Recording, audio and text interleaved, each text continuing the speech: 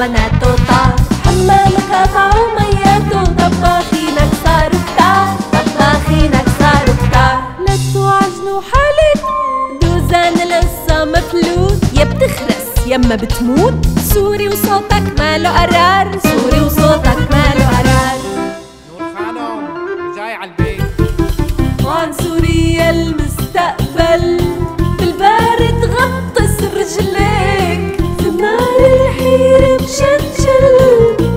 بده يبقى يلف عليك البيت البيت جاي على البيت. لا مالي راجعة.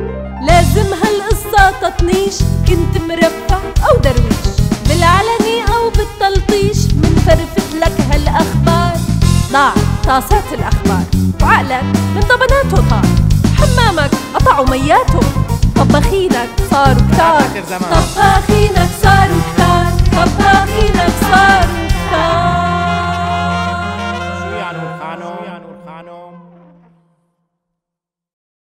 مرحبا يا جماعة الخير. بدي أحكي لكم سر صغير. خلاص ما فيني أصبر أكثر من هيك. طول الفترة الماضية كانت عم تجيني آراء ونصائح من أصدقاء وأعدقاء. إنه شو بدك بهالشغلة؟ روحي عدي بالبيت. وهي بمعنى أو بآخر تخنمي وتجوزي.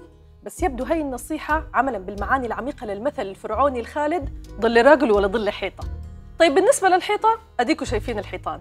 أما بالنسبة للراجل فجبنا بداله مطبخ مبدئياً. لأنه أسرع الطرق للوصول لقلب الرجل العربي والعالمي هي معدته ويسمحوا لنا الرجال العرب. فأهلا وسهلا فيكم بمملكتي السعيدة. وبما أنه البيت بيتي وأخذي راحتي مثل ما شايفين صار فيني أطبخ وأنفخ شيل وحط ملح وبهر حتى أحرق الطبخة بحالها.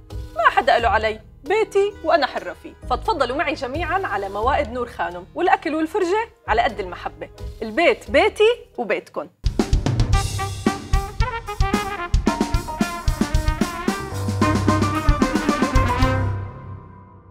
في ولد راح عند أمه يوم السبت قال لها شو طابخين؟ قالت له ملوخية. قال لها ملوخية. رجع يوم الأحد شو طابخين؟ قالت له ملوخية. قال لها ملوخية بس بحماس أقل. وهيك الاثنين والثلاثة والاربعاء والخميس لوصل للجمعة. سألها شو طابخين؟ قالت له ملوخية. قال لها ملوخية. رجع يوم السبت سألها شو طابخين؟ قالت له ملوخية. قال لها ملوخية. وهيك عم يصير معنا نحن الشعب السوري عم ناكل من نفس الطبخة كل مرة بس كل مرة بحالة مختلفة وريحة مختلفة. وبنجي لحتى نبكي بيرجعونا لحماس يوم السبت ولا كأنه تعلمنا شيء من هالدرس كله. والنتيجة صرنا عم ناكل ملوخية 8 سنين. بأيار بال 2014 أبرمت أول اتفاقية لخروج أهالي مدينة حمص من مناطقهم. لتكون فاتحة التهجير. وطلع أول مرة مصطلح تسوية الوضع اللي عرف بوقتها بهدنة حمص. توالت طبخة الملوخية بالقصير وقدسية والوعر والغوطة الغربية والزبداني ومضايا ويلدة وببيلة. تم إعادة الأمن والاستقرار إلى بلدة ببيلة يلدا بيت سحم. وأخيرا تكرر هذا المسلسل بشرق مدينة حلب والراعي الرسمي لأولمبياد التهجير كانت الأمم المتحدة. قرار مجلس الأمن يتحدث أيضا عن إشراف الأمم المتحدة على عمليات إجلاء المدنيين ويطلب من الأمين العام للأمم المتحدة بان كيمون العودة إلى المجلس خلال خمسة أيام لتقديم تقريره حول تعاون الأطراف المعنية على الأرض حول القرار. شكرا أنطونيو غوتيريس والشكر موصول أكيد للسيد بان كيمون. بالمناسبة اللي عم يحكي إنه الأمم المتحدة طباخ فاشل ما معه حق ابدا لأنه سكان الغوطة عم يغنوا لهم تسلم الأيادي على مساعداتكم اللي وجدت الطريق الصحيح. قالت الأمم المتحدة أن قافلة المساعدات الإنسانية التي وصلت الغوطة أمس لم تتمكن من إتمام تفريغ كامل حمولتها مقادير الملوخية الأممية كانت نفسها بكل مرة. التوابل على المجتمع الدولي واللحم علينا لحمنا. المكونات الرئيسية قصف وحصار كمان قصف وحصار بضيفوا عليهم تجويع وأكل لحم قطط رشة استنكار عربي وأممي ما بيأسروا والوصفة بتنتهي بالتهجير المزين بالباصات الخضراء. انطوت صفحة ست سنوات من الثورة السورية وانطوت معها قصة أخطر مدينة وأكثرها مأساة في العالم حلب. الأيام الماضية كانت الضحية الغوطة الشرقية. هاي الغوطة اللي ضربها النظام بالكيماوي بال 2013 ووقتها شف الملوخية الأممية عاقب أداة الجريمة وترك المجرم. وعلى نفس خطى الملوخية. ورقة ورقة. مجلس الأمن عم يستعد هالأيام لتنفيذ عملية تهجير كبرى. طبعا الشيف الروسي تسلم إيده دخل على المطبخ ورش بهارات هدنة خمس ساعات يوميا. بكتر خيره يعني. وسيادته قال إنه الهدنة لا تعني توقف الأعمال القتالية. عميق. بنفس الوقت لا يوجد أي تعارض بين الهدنة وبين الأعمال القتالية. فالتقدم الذي تم تحقيقه أمس وأول أمس في الغوطة من قبل الجيش العربي السوري تم في ظل هذه الهدنة المحرقة أو الفرن نفس الشيء كله طبخ بالنهاية. شاف النظام في المطبخ الأممي بشار الجعفري أكد أنه الطبخة ما رح تتغير وأنه رح تكمل على نفس مسيرتها بالجودة اللي عودكم عليها. نعم ستكون الغوطة الشرقية حلب الثانية. أما كبير الطباخين لمطاعم النظام سيرجي لافروف حكى أنه ملوخية الغوطة رح تكون نفس طعمة ملوخية حلب تماما. فيما يتعلق بتجربة حلب فإن ذلك يمكن تطبيقه في الغوطة الشرقية. جماعة النظام كان لهم نفس التاتش البصمة أو الحافر. هكذا يتم إخراج الفبركات ومنتجة الفبركات من قبل الخوذ البيضاء الإرهابية في الغوطة الشرقية. فسختوا الكوكب من هالرواية. تعرفوا شو؟ جماعة الإنتاج جيبوا لهم ملوخية.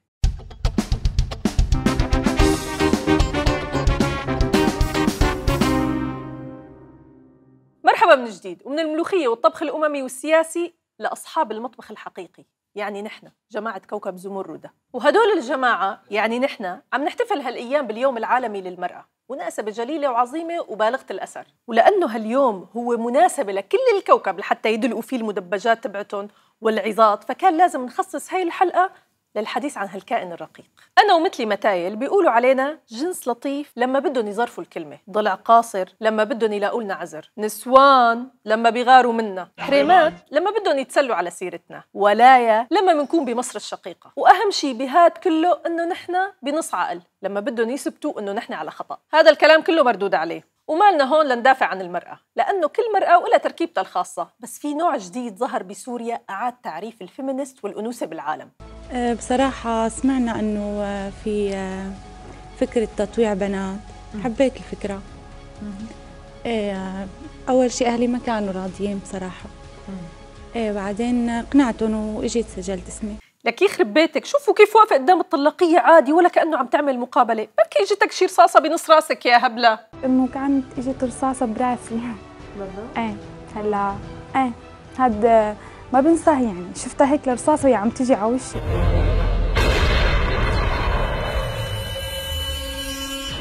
الله حماكي. المهم هذا نوع من الأنواع وبتداخل تشكيلة أوسع.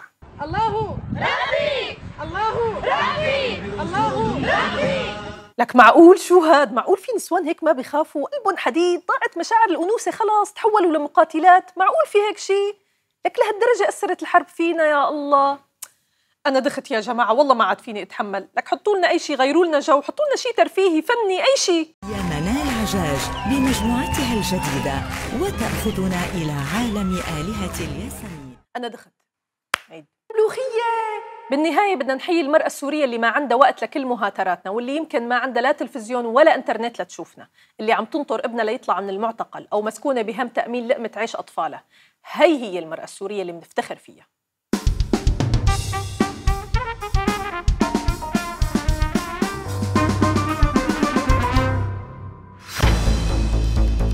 نشرة أخبار المطبخ أهلا بكم. أصدرت منظمة اليونيسيف للطفولة بيانا كامل الدسم فيه مذاقات جديدة وغير مسبوقة ولم تعرفها مطابخ المنظمات الأممية من قبل مقادير بيان اليونيسيف هي وين المقادير يا جماعة؟ مقادير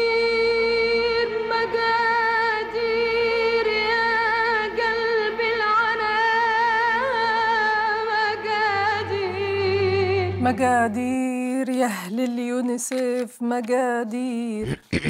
آه أنا هوا.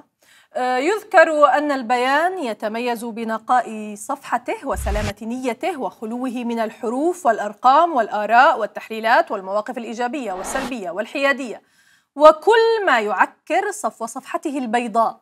جدير بالذكر أن البيان يعكس بوضوح حجم اهتمام العالم بالقضية السورية.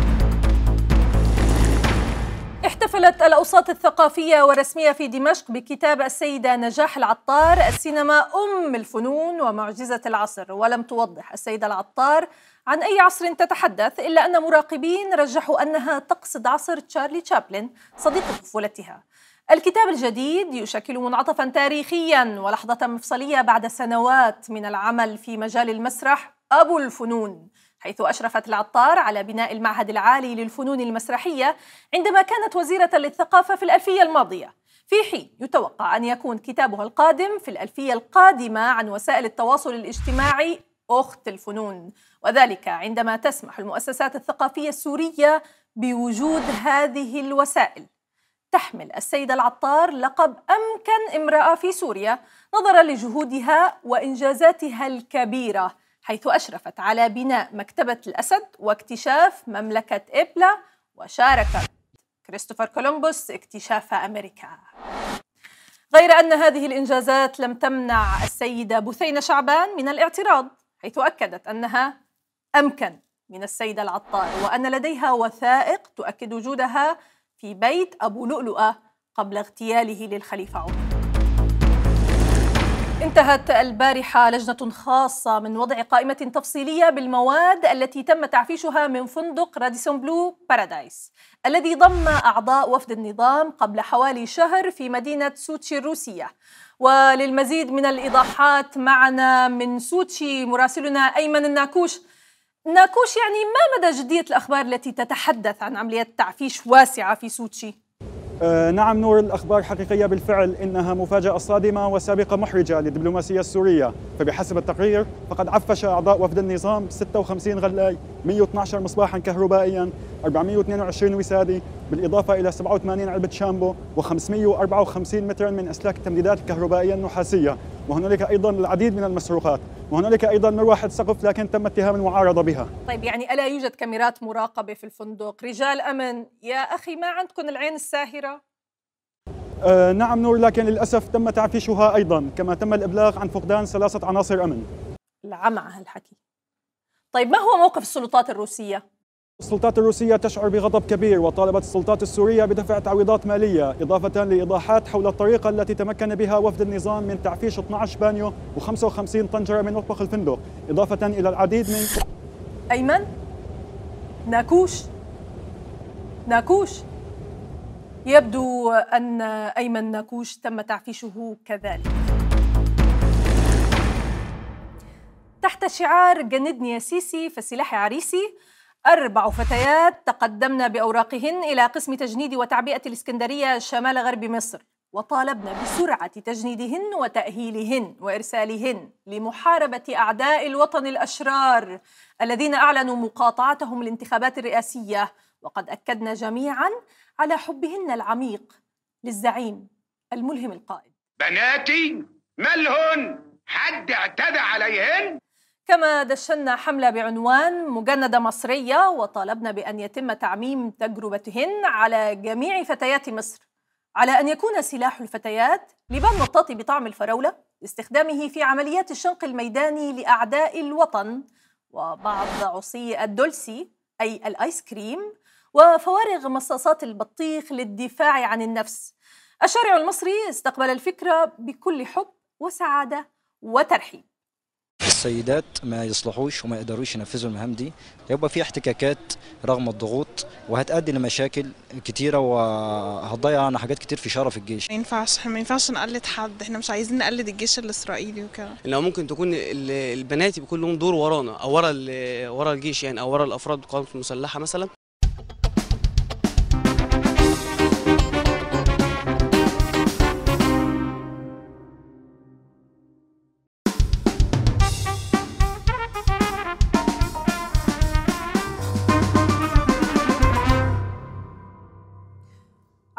الجمعية السورية للمعلوماتية عن قلقها البالغ لمرور عدة أسابيع على تخلف السيد قرش المتكرر عن التهام الكابل البحري الضوئي للإنترنت.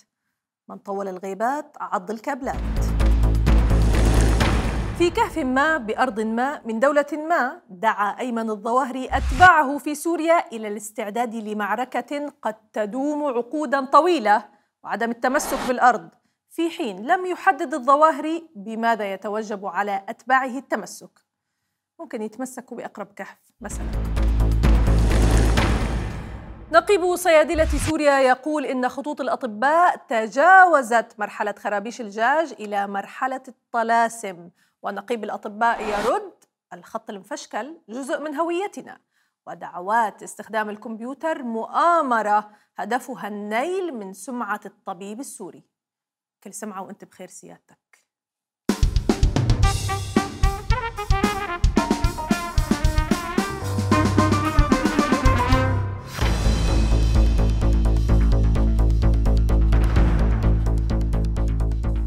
بكم مجددا واهلا بكم في مطبخنا التحليلي. رغم شكوى الشباب من تجنيدهم اجباريا في مصر إلا أن هناك فتيات. على مهلك بس كده على مهلك. وأنت مش هتقدميني داخله في الموضوع كده على طول؟ مش أنا هتقدميني للناس؟ بعتذر منك. إيمانا منا بدور الرجل وحقه في البقاء حال تمكين المرأة. استوردنا من مصر حديثا. الأستاذ صفوت رح يشاركني بتقديم هاي الفقرة. محسسني إنك مطلعاني من العلبة دلوقتي. خلص أنت عم تفضل ترحب هيك. خلينا نرحب بضيفنا الموجود معنا في الاستوديو الأستاذ محمد رضوان المحلل السياسي للتعليق على الخبر. أهلا بحضرتك يا فندم. أهلا بحضرتك واهلا بالجمهور العربي والجمهور السوري والجمهور المصري لأن الجمهور المصري ده آه، آه، قبل قبل الاثنين. إحنا حضاره 7000 سنة. نسألك سؤال. أستاذ محمد شو رأيك بتجنيد الفتيات في مصر؟ طالما تجنيد آه، يبقى تبع الجيش. خدت بالك؟ آه لا الموضوع عندنا كبير في مصر مش مش حاجة سهلة 7000 سنة. وطالما تبع الجيش يبقى آه، آه، أمن قومي. خدت بالك.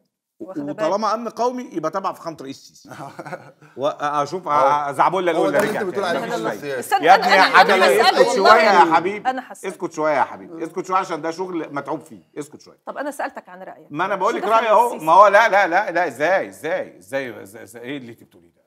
مش, الموضوع. تبع الجيش. أيوه. يبقى تبع السيسي على طول. إيه علاقه الجيش ده ده؟ بتاع أي كلام بيقوله. حسأله كلام. والله. يا حبيبي اسكت يعني يا ال- حبيبي. يعني السيسي اسكت يا حبيبي. يعني السيسي هو الوطن أستاذ محمد؟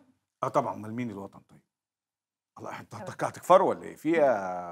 لا لا لا فهمونا.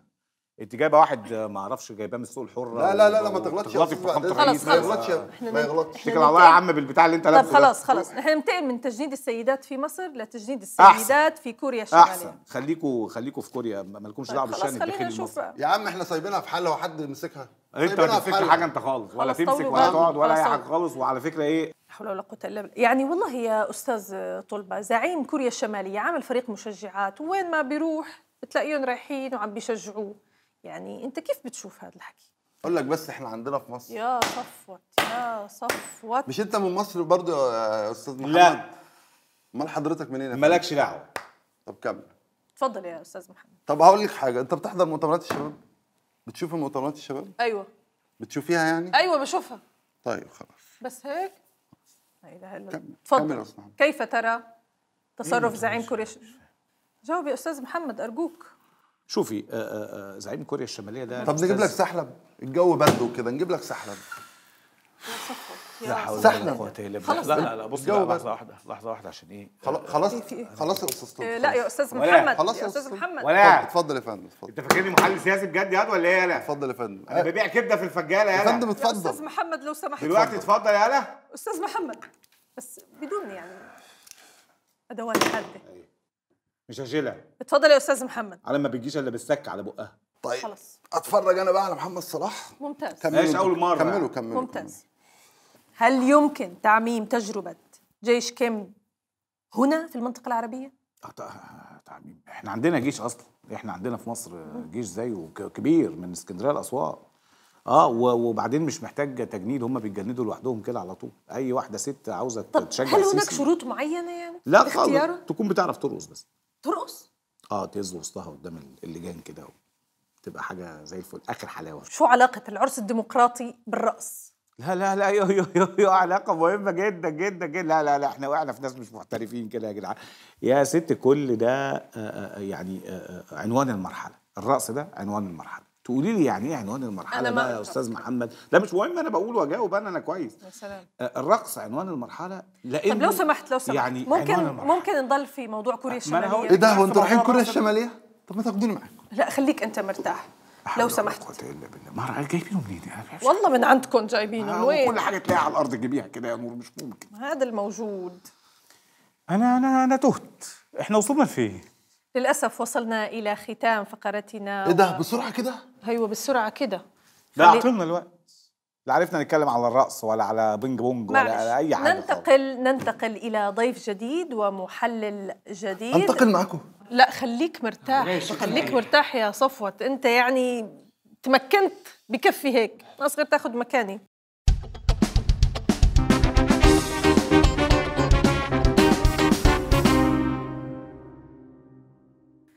ومعنا للتدقيق والتمحيص حول موضوع كوريا الشمالية. العميد المتقاعد والخبير الاستراتيجي ماهر المدفعي أهلا بك سيادة العميد. سيادة العميد يعني أود أن أسألك ما رأيك بما فعلته كوريا الشمالية؟ وهل استفادت سوريا من هذه التجربة؟ بداية لابد من التأكيد على عمق العلاقات المشتركة بيننا في الجمهورية العربية السورية. هي بعد عايشة؟ نعم. عفوا سلامتك. أكمل سيادة العميد. والأشقاء في جمهورية كوريا الديمقراطية الشعبية. فبيننا العديد من القواسم المشتركة. نحن نشكل ضلعين أساسيين في مربع المقاومة. ونحن نتجاور في معظم التصنيفات العالمية كالتصنيف العالمي لقمع الحريات والتصنيف العالمي لقمع الديمقراطية. ونتجاور أيضا كأكثر الدول أمنا يعني مخابرات. طب خلينا ننتقل لموضوع آخر. سوتشي. يعني معقول سيادة العميد وصلت مواصيلكم لسوتشي نعم نعم إلى سوتشي. وما بعد سوتشي. لن يقف شيء في وجهنا وسنستمر في النضال والمقاومة إيه وال... سيادة العميد ما عم نحكي عن نضال تعفيشي وفد النظام عفش سوتشي. هذا كلام عار عن الصحة ومحض تضليل إعلامي أترفع عن الرد على هذه الترهات. لكن يعني الروس نفسهم حكوا مطولا وبتقارير إنه الوفد تبعكم عفش الفندق اللي في سوتشي كمان هي مجسمات أستغرب وفبركات أستغرب حقا هذه الادعاءات. هل يعفش الإنسان نفسه؟ نعم. الروس نحن وإياهم واحد. جيبنا جيبهم وأرضنا أرضهم ورئيسهم رئيسنا. كل ما هنالك أن السادة أعضاء الوفد كانوا سعداء للغاية بهذه المكرمة الكبيرة من الدكتور بشار الأسد. فأحبوا الاحتفاظ ببعض التذكارات. ليحدثوا أبنائهم وأحفادهم عن هذه الزيارة التاريخية العظيمة. تذكارات قلت لي يعني هلأ فينا نعتبر إنه البانيو والطنجرة تذكارات. نعم. بانيو. نعم. بانيو. نعم تذكارات. طيب جميل. هذا الحكي تمام. كاميرات المراقبة. هي العين الساهرة الروسية على أمننا دائما. يا سلام. طيب هدول كلهم نتغاضى عنهم. مراسلنا اللي عفشتوه. كمان هذا تذكارات. سنتأكد إذا ما كان مطلوبا في أي جرم أو اتهام وإذا ما ثبتت براءته فسيلتحق بإحدى تشكيلات جيشنا العربي السوري ليسدد بعضا من دين الوطن تجاه أبنائه. هذا إذا ضل عايش. آه على العموم نشكرك سيادة العميد والمحلل الاستراتيجي ماهر المدفعي على هذا اللقاء التذكاري. أهلا. كما نشكر مشاهدينا وبهذا نصل إلى ختام أخبار مطبخنا. دمتم بصحة وعافية. العمى في عيونه. عفش الصحن.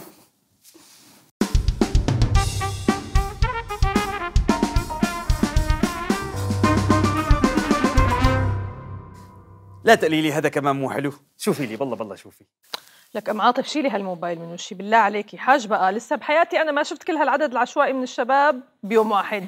مين عشوائيين يا خانم لك هدول كلهم أصدقائي على الفيس.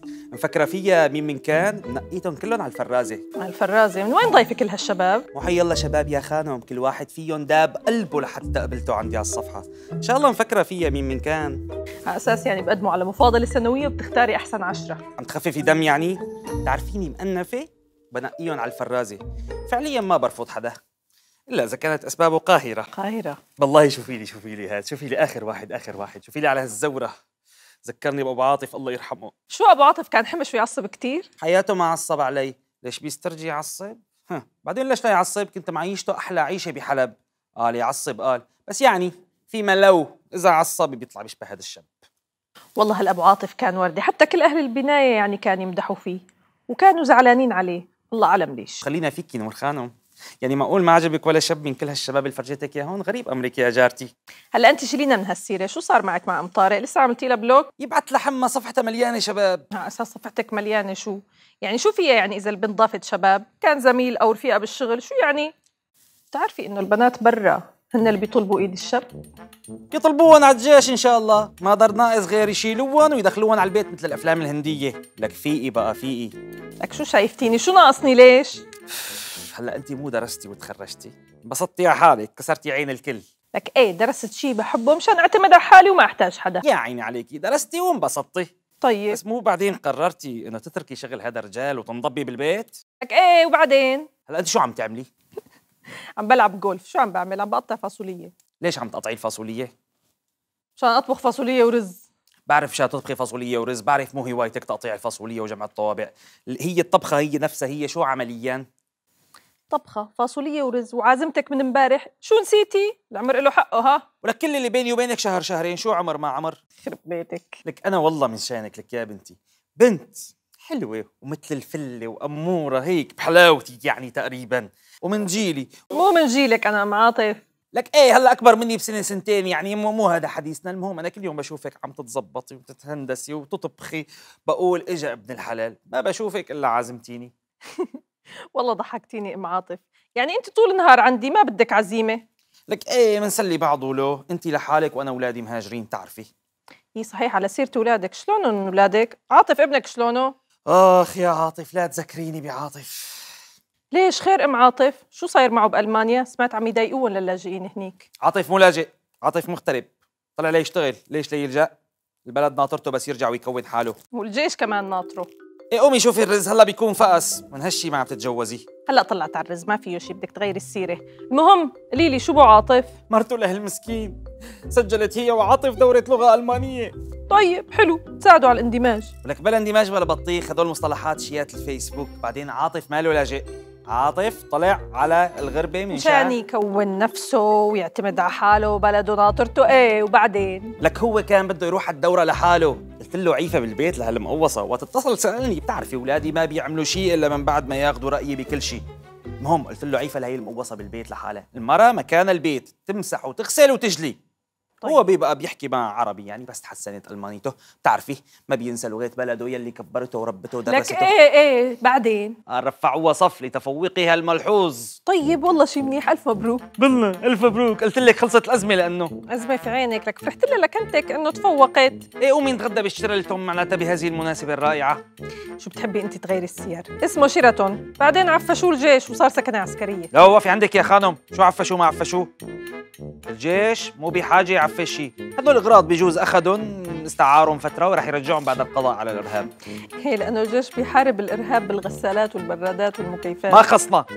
هذا شغل الشباب وهن أدرى فيه. ويا عليكي حاجة تغيري السيرة. هلا فهميني أنت شو القصة؟ شو اللي مزعلك من قصة ابنك عاطف؟ بكرة من بعد ما تتعلم.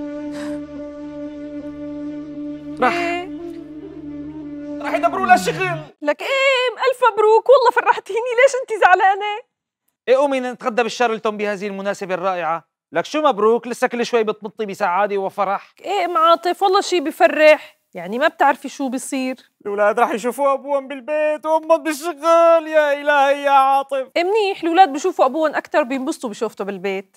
الأب مو للبسط. الأب لازم يرجع على البيت تعبان من شغله ويكون معصب لازم يعني يرجع معصب يعني يفضل يرجع معصب يلاقي مرته طابخة طبخ بسد النفس. يلي أكل أمي أطيب. أمي يعني أنا. ويرفض الصحن بإجره يضرب كفين الأولاد يربيهم شوي وينزل مع أصحابه على القهوة. هلا هذا البرنامج اليومي للرجال؟ يو طبعا. هلا أبو عاطف الله يرحمه. كان لما يرجع على البيت يسوي لك كفين هيك ويرفس الأكل بإجره آه. ويتركك وينزل على القهوة؟ أه يمكن جايني missed call. هذا جدول اليومي تبعه؟ يلا كملي تجهيز بيتك انت وبرنامجك حبيبتي بلكي بيجيكي شيء على الريس. يلا بخاطرك.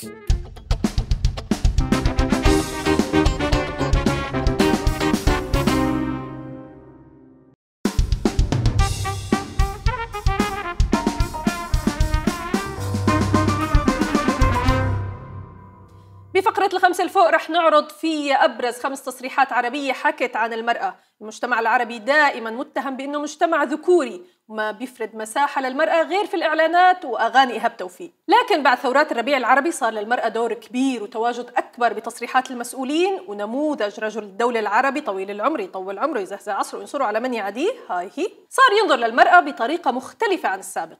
خلونا نشوف أهم خمس تصريحات دخلت معنا المنافسة.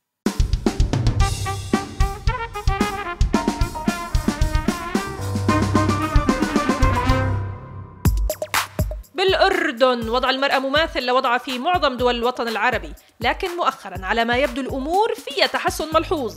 وهون كان في تنافس شديد على أغرب تصريح أو موقف بين نائب البرلمان يحيى سعود وضابط المخابرات الأردني النائب السابق محمود الخرامشة يلي بكل موضوعية وقلب واسع بيتابع جميع البرامج اللي بتهتم بالمرأة الأردنية وبيحاول بشكل دؤوب وضع حد لعمليات التحرش بالأردن. اسمع هذه تجربة مش صحيحة وبتحدى إذا خ- كانت صحيحة. هذه تجربة أكيد ممكن تقولوا إنه النائب محمود الخرابشة هو اللي فاز بس للأسف. النائب يحيى سعود هو اللي فاز معنا بالمرتبة الخامسة.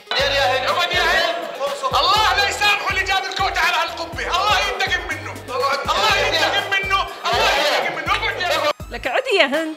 والله شكلها الهند رح تعمل برنامج مثلي وتقدم مداخلتها بالبرلمان من البيت. منروح على لبنان بلد الحريات. المرأة بلبنان فيها تعمل اللي بدها إياه ويمكن أكثر من رجل. المرأة اللبنانية لهلأ فيها ترجع الساعة 3 وش الصبح على البيت. وما حدا يحكي معها شي مثل أيام الأمن والأمان بسوريا. بس هلأ عزيزتي المرأة اللبنانية عندك نعمة أهم من كل هدول. سعادة وزير خارجيتك ميسيو جبران باسيل اللي بيقدر جمالك بشكل منه معقول وبيحكي عنك وعن جمالك بكل المحافل للغريب قبل القريب عم يشتغل مندوب تسويق لجمالك بس وين كارولاين؟ كرامي؟ بنتي جدا كارولاين كارولاين مش سلام على كارولاين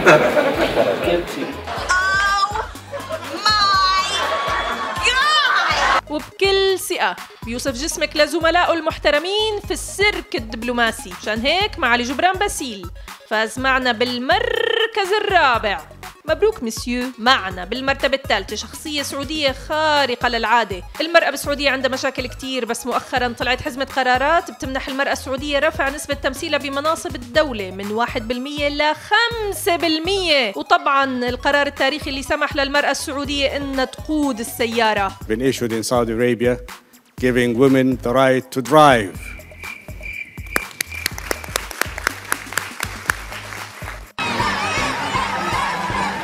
بنبارك للمرأة السعودية ولكن عنا سؤال للفائز معنا بالمرتبة الثالثة. برأيك ليش المرأة ما لازم تسوق السيارة؟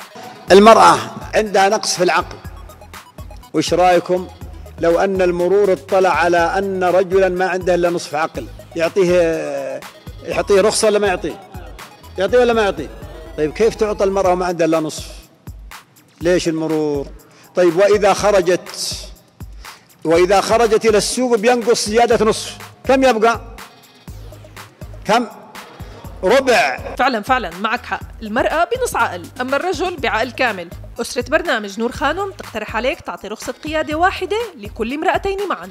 إذا منقول مصر بيخطر ببالنا الأهرامات النيل والتحرش. ما شربتش من نيلها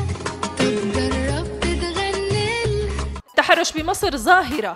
تعتبر برأي العديدين إنها مشكلة خطيرة وبتهدد المجتمع المصري لدرجة إنه مصر تأثرت حتى سياحيا بسبب هالموضوع.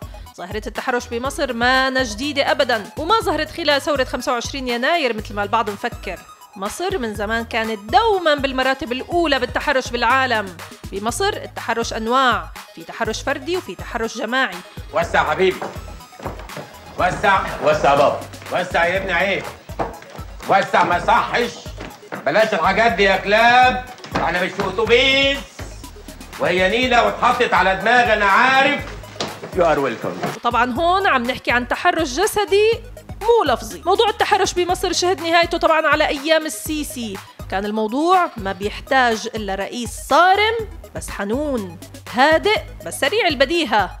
بسيط بس آه، بسيط. يا راجل عيب عليك. صحيح. يا راجل أنت يعني ما تبصش عليه عيب كده. مش بقى تقول كلام خادش ولا تتصرف تصرفات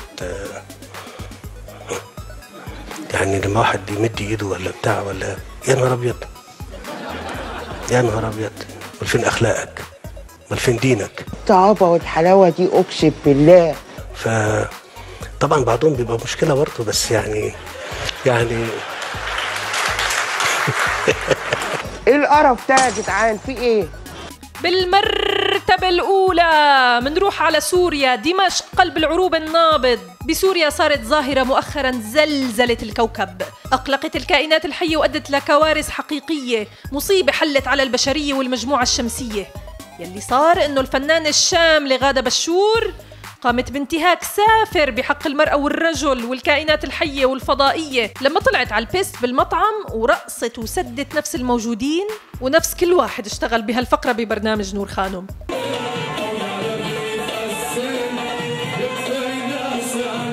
سألت حالي يا بنت وين شايفة هالرقصة؟ وين شايفة هالرقصة؟ ليك وهي بتعمل هيك. ليكي ليكي وعليكي. ليك وهي بتعمل هيك.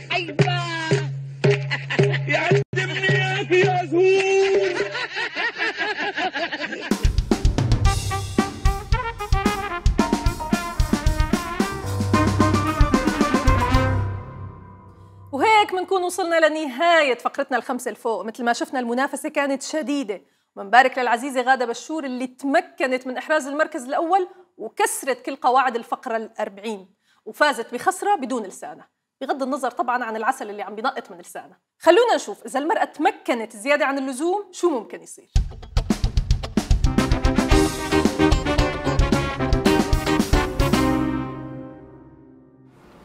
لك خليلي جمالك كيفك يا حبي الوحيد؟ مشتاق لك كثير كثير حبيبتي. ليش تأخرتي؟ لك ما بتعرفي إنه أختي مانعتني أطلع من البيت من بعد ما حكينا مع بعض على التليفون وكشفتنا؟ حبيبي زحمة. وبعدين أنا وأنت مو من المفترض نلتقي اليوم لولا نقك وزنك بصراحة أي في موضوع كثير مهم حابب أحكي معك. بس لازم نكون رايقين وعاقلين وواعيين وبدون أي عصبية. حبيبي أنت إذا ما بدك تعصبني ما بتقول هالكلمة ببدايه الجملة لأنه هالكلمة بالذات بتفزز لي عصبي روقي حبيبي روقي ما في داعي للعصبية أساسا. أنا كنت بدي أحكي معك بموضوع بسيط كثير لا بسيط ولا شيء. إذا بدك تقلي تروح تشوف هذاك رفيقك الزفت وتنام عنده فأنا من هلأ عم أقول لك ها هالموضوع بكفي وعلاقتنا بكفي. سمير؟ شو دخل سمير هلأ بموضوعنا؟ سمير أساسا أنا نسيت قصته ما بقى نحكي مع بعض من بعد قصة الفيسبوك. قصدك الإنستغرام أو تتصور صور معي على جنب المسبح وعمل لك تاج عليها. لا حياتي لا. هو القصة كلها كانت قصة فيسبوك. أنا عرفانة شو عم أحكي. بعدين انت متغير من وقتها وعم تنزل صور شروي غروي على الفيسبوك. أنا متغير؟ إيه وبعدين شو فتحت الصدر هي ما بتستحي على حالك ولا الحلق شو قصته؟ حياتي هذا القميص كثير كثير عاجبني. ليك قد حلو؟ والحلق أنا كثير عاجبني. بس يا ترى عجب إذا قلت لك شي كلمة عن نادي الملاكمة تبعك. شو رح يكون موقفك؟ حبيبي أنا قلت لك open mind okay. بس هذا اللبس ما بيمشي معي. وهذا الحلق بدك تشيله؟ فكرة أنا مو حاطط حلق وثيابي كثير حلوين. شو عمو؟ شو خير بلاقيك بلاقيك ملزق كثير هون. جيب لنا طبق مشان السيجارة للدوموزيل هي من عيوني الدموزيل بتاخدي معها مانجا؟ إيه، أشرب مانجا ونص ثلاث أرباع كمان. نغم خليكي معي شوي وبطلي هالحركات.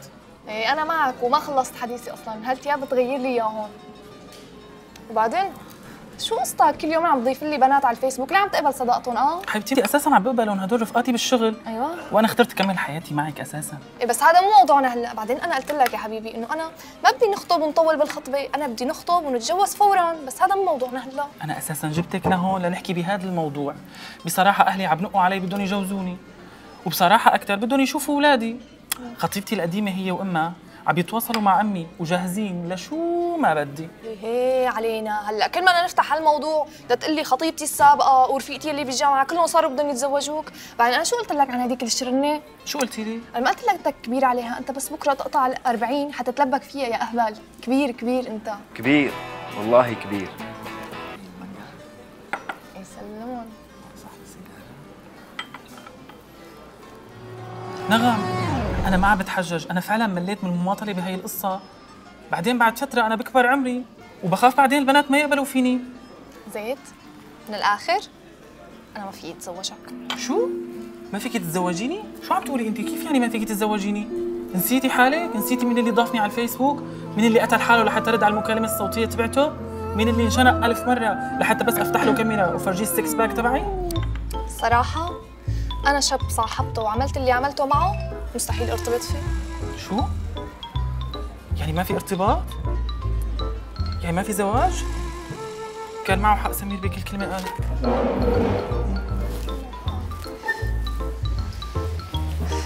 إيه وبشني جماله أنا شو اسمه الحلو طب شو رأيك تصير حبي الوحيد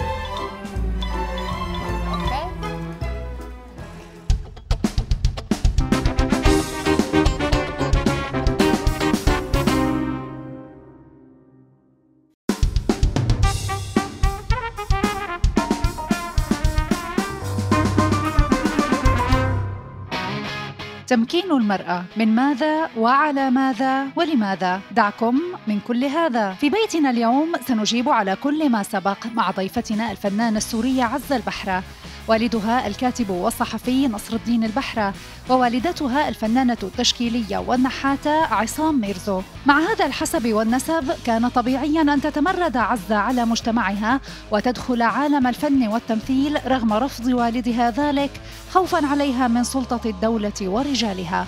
استطاعت عزة أن تصنع اسما وشهرة في عالم الدراما السورية.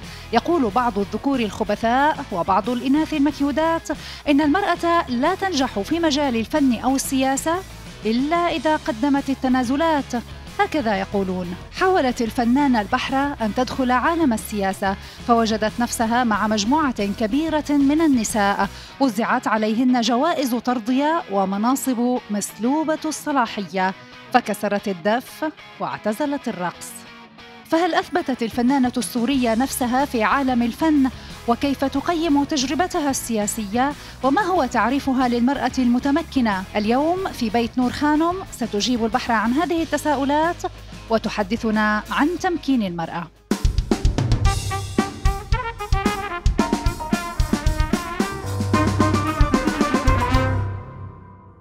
مدام عزة البحر أهلا وسهلا فيكي ببيتنا فنانة والسورية القديرة. شو رأيك بالبيت أول شيء؟ ظريف. لطيف. طيب حلقتنا اليوم عن تمكين المرأة. بس أول شيء خلينا نحط القهوة على النار. شوفي نحن هون مشان الواحد يحس حاله إنه البيت ببيته. بيته ما يحس أبدا بالغربة. إن شاء الله هيك تشتغل ما ها؟ نحط القهوة على النار. آه، تمكين المرأة. شو برأيك هذا المصطلح بيعني؟ هل تعتبري حالك أنت مرأة متمكنة؟ آه، تمكين المرأة يا عزيزتي آم، آم، هي بال فيها شيء بعمق ال- ال- المصطلح له علاقة بكسر ال- العادات والتقاليد والأعراف الاجتماعية اللي كتير بيكون لها موقف من عمل المرأة. وم- ومشاركة المرأة بالمجتمع بكل أبعاده يعني تعتبري حالك أنت مرأة متمكنة؟ إيه. طيب تمسكنتي ولا تمكنتي؟ لا الحقيقة ما تمسكنت ابدا ما كنت مضطرة يعني. أنا بنت عائلة آه، مثقفة ومتعلمة ومدركة تماما لحقوق المرأة. بس الحقيقة إنه آه، واجهت ببدايات حياتي صعوبة مع مع أبي. آه، بمعنى إنه كان هو إلى حد ما متخ- متخوف كثير يعني هذا الحكي بدي أقول لك إياه بمنتصف السبعينات يعني مم. وقتها كان في طلعوا سرايا الدفاع وجماعة ورفعت الأسد. رفعت الأسد و آه، وكان خاف علي كثير بصراحة وكنت إذا إذا بتمرقي الساعة 6 7 المساء من تحت جسر فيكتوريا كانوا يتمركزوا هنيك كان بصراحة منظرهم مخيف. هنيك لا في لا للرجل ولا للمرأة يعني. فكان بالنسبة له رعب إنه أنا مثلا أطلع أروح على السينما من الستة للتسعة يعني. ممنوع من الستة ممنوع من منيح الستة يعني للتسعة كانت السينما كلها ممنوع هلأ هو أنا ب- بوقتها بصراحة ما كنت أفهم شو ليش هو شو هالسر شو يعني ليش هو هيك محدد لي حركتي كانت كتير. وأنا ما كنت نمرودة ما كنت يعني بس كان بس كان بدك تقنعيني تقولي لي ليش أنا مثلا ما في هيك. شو أكثر موقف هيك عمله معك أبوك بتحسي إنه يعني كان في له سلطة عليكي أو ما قدرتي تعملي اللي بدك إياه؟ لما قدمت مسابقة المذيعات بال 79 آم، هو كانت اللجنة كله و- وبيعرفهم يعني وكان فكرة إنه أطلع على التلفزيون كانت مخيفة بالنسبة له هو بيعرف إنه إذا بده يقول لي لا تروحي تقدمي أنا بدي أروح أقدم يعني بالنسبة إلي خاصة خاصة أنا كنت بفترتها قارية آم، آه، الباحثة الاجتماعية نوال السعداوي. وكانت أخذ أبعادها وكانت عاملة كتاب اسمه الأنثى هي الأصل فأنا كان جزء من استقلالي إني أشتغل وكان هو بالنسبة له فكرة الفن والتلفزيون هو كان عضو بجمعية الفن. ببداياتها وكان ممثل شو عمل معك؟ دعمك آه ما دعمني أبدا بالعكس حكى مع اللجنة وما أخذوني قال لهم ما ياخذوك إيه إيه إيه قال لهم بصراحة ما بدي بنتي تطلع على التلفزيون. احكي عن تجربتك بالعمل بالسياسة. تجربتي بالعمل الحقيقة. تجربة جميلة.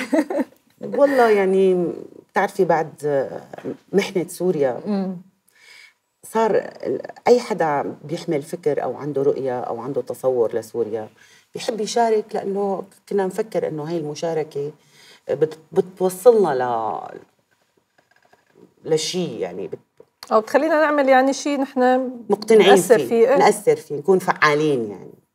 وشاركت كثير م- شكلها هي طفيت هي آه. يا خليها للبرنامج القادم. طيب. آه، شاركت بتأسيس آه، شبكة المرأة السورية. وقبلها بمصر كنت عملنا رابطة نساء السوريات.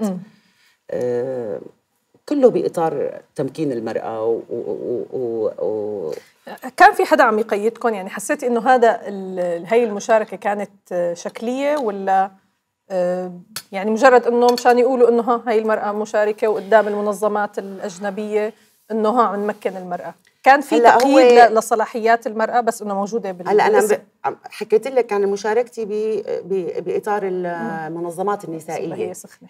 بس بس أنا شاركت ب بكذا تجمع سياسي. مم. بصراحه كنت حس إنه الرجل لا زال غير مقتنع بعمل المرأة ومشاركتها.